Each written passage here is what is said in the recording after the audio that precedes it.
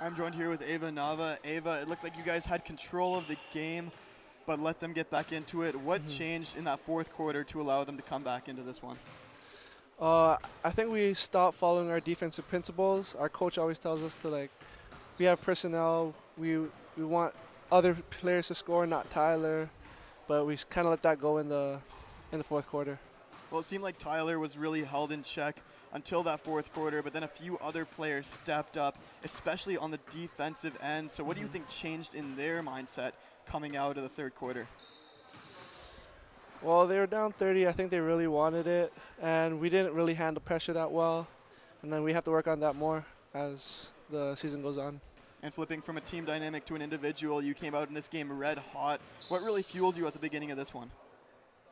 Oh well, I've been shooting, practicing before the game, during the season, and I think like it really helped my confidence, and I was really confident with my shot.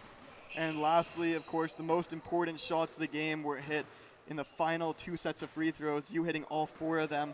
What Mhm. really goes through your mind when you're on the line, when you're on the free throw line with the game in your hands, with all four of your players behind the half court line, nobody rebounding, it's all on you. What are you thinking at that point? Well, like I practice it every day. It's kind of like nature to me. I feel like I, I practice it enough, and I should be confident in my own shot. So I had to hit him, And lastly, before we get you out of here, what's the ultimate goal for the season? win the championship. All right, best of luck. Thank you.